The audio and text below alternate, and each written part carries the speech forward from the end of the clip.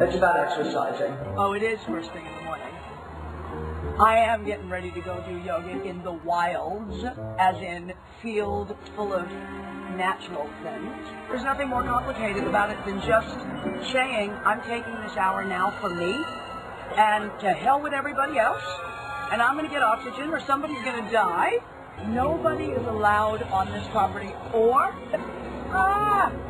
It's deep, deep Phil, the whole class got kicked off the property. Remember the no All of trespassing these parks are off of main There's highways. so much noise. There's wind, leaf blowers. Remember, just think about the. They're blowing leaves around. Why? Stowing by. and anyway, you want to do yoga here with me because A, it proves that you need nothing to do yoga, not even much space. So this is all so organic and natural, indoor kind of natural. Here's what you need. Nothing.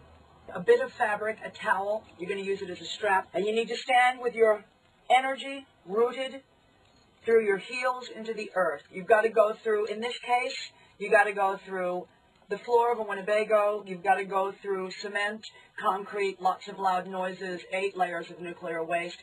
But eventually you will get to the earth. Root your heels into the earth. Don't let me lose my glasses. That's just what I say all the time because I'm always losing them. And hang. The modification for this is obvious.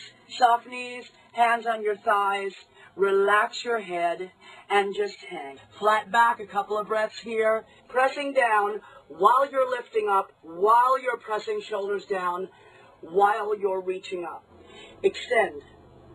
Hold. Modification. Place your right hand on your thigh, turn, reach. Breasts look okay? Oh, they look good. Do they look good? If the breasts don't look good, oh, we don't do it, do we? Modification, same move, reach, different fitness level. Hold. Modification, hand, turn. Get the same movement, just turn your body. Right elbow high. Turn your right body open.